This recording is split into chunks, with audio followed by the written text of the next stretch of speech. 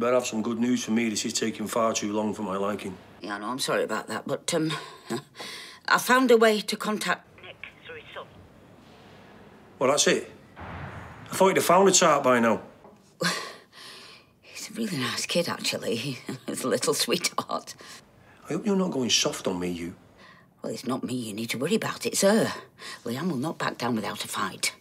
And from what I remember, she's dog rough. Canines can be silenced. If you've got out like that planned, you know, you can keep me out of it. I will not play ball, and then you'll never find her. You're in way too deep, you. You do as you're told, and you get looked after. You know the rules. Please, Harvey.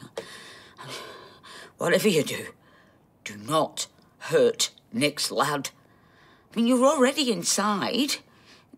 Is it worth putting a kid through all sorts of danger just to get your sentence reduced? Harvey. Harvey!